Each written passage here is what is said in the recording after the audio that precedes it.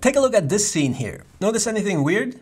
No? Well, that airplane in the background is fake. I used Magic Mask in combination with the camera tracker, in DaVinci Resolve of course, to put it there. And you know, you can even take it a step further if you want and add an explosion for example. I mean, you can basically do whatever you want. The possibilities are endless. So let me show you how to put anything you want in the background of your videos. Okay, we're in DaVinci Resolve and this is my clip and the first thing I'm going to do is duplicate it. There. And then make the top track invisible. And that's it for now in the edit page. Then go to the Fusion page, and this is of course where a lot of the magic happens. So with the Media In node selected, hit Shift Spacebar and look for the camera tracker. That's what we're going to use to track the camera movement. Now, the big difference between the normal tracker and the camera tracker is that the camera tracker will generate a virtual camera in a 3D space. And so it will allow you to add elements to a scene. Not only 2D images like I did, but also 3D objects. And look, if I would use the normal tracker instead of the camera tracker to add that airplane, it would look like this, because it only tracks one point, and that's it. But the camera tracker tracks everything in, yeah, 3D. Okay, now you could just hit track here and it would track the whole image, but because there's a person in the frame and the person's moving, the result wouldn't be too great. Because look, if I hit preview auto track locations here, See, some of the tracking points are on the subject and yeah, he's moving and the camera is also moving, so the tracker will get confused. And so what I'm gonna do is super simple. With the camera tracker node selected, I'm going to add a rectangle node. Then move the rectangle away from the subject.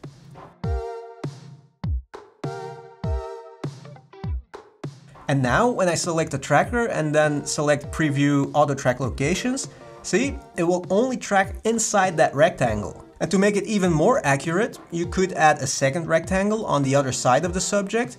But in my example here, I tried it with one and it works just fine. So I'm gonna do it with one. But what I did do is keyframe that one rectangle because the subject moves and so when he moves to the left, see there's more background available for tracking here. And so just put the playhead at the beginning of the clip Select the rectangle node and then hit these three diamonds here to create keyframes. Then just move the playhead a little bit and now just make the rectangle bigger and reposition it. And then it will automatically create some new keyframes here, see? Because the diamonds turn red. And then just keep moving the playhead and resizing the rectangle until you're at the end of the clip.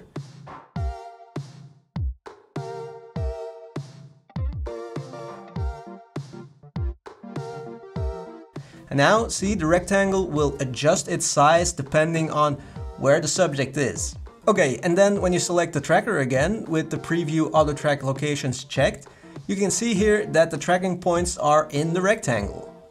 The only thing I still want to do now is lower the minimum feature separation. That will add some more tracking points. And then just hit auto track and let Resolve do its thing. And then when it's finished, go to solve here and just hit solve and resolve will, yeah, solve. I have no idea what it means exactly, but all I know is that once it's finished, you want an average solve error that's below 1, so 0 point something. If it's higher, then you should remove some tracking points. How? Well, first of all, set the solve weight to 0 here and hit set, and then you can adjust these three sliders here to select some tracking points and then when you hit delete, it will delete those tracking points. Now the key here is to try and get below one average without removing too many tracking points. So, you know, start by adjusting these sliders very slightly. For example, lower the maximum solve error by just a tiny little bit, hit delete, and then hit solve again.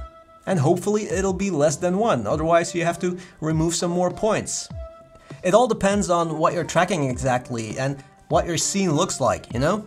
Now, guys, look, I myself also learned this from watching YouTube tutorials, and so I don't know all the technical details. I don't know what all those sliders mean exactly. So, you know, if you want to learn all those technical details and what every slider means and does, I'd suggest you to watch some in-depth tutorials, or maybe even Blackmagic design support pages.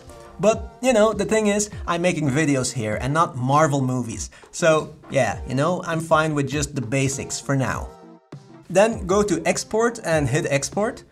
and you'll get a whole bunch of extra nodes. Now, don't worry, you don't need all of them for this simple example because we're just adding a 2D object in the background.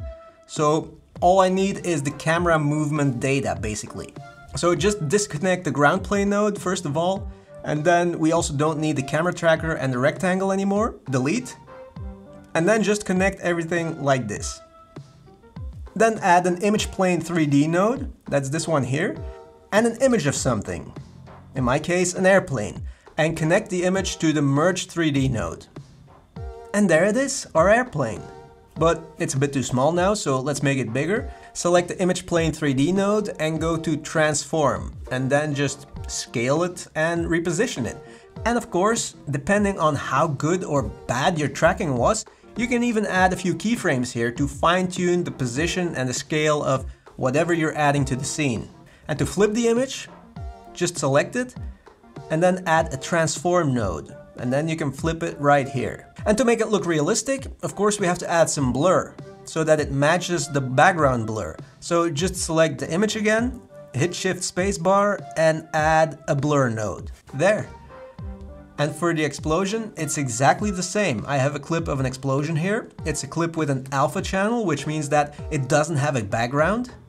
And you can find these on sites like Envato Market, for example. Just Google it video overlay with alpha channel or something like that. I think this one costed me 10 bucks, that's it. And then if you go here and switch to dual viewer mode and then put the 3D merge in viewer 1, just select the first dot here, you can see that virtual camera that Resolve has created in a virtual 3D space. And also your footage is there and so here you can play around with that object and move it around in that 3D space. Now in my example here that wasn't really necessary because after resizing the plane it looked pretty good and realistic but maybe I was lucky.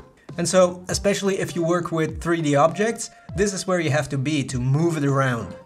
Okay, and then once you have your object in place, if there's a subject going in front of it, you need to do the final step, magic mask. Okay, go back to the edit page and then make the duplicate clip visible again. Then go to the color page and magic mask here. Draw over the subject. Super simple. Check this box here so you can see the mask and then preferably select better if your computer can handle it to get a better result and then hit track. And once Resolve is finished, right click in the node area here and add an alpha output. And then connect the two blue dots here.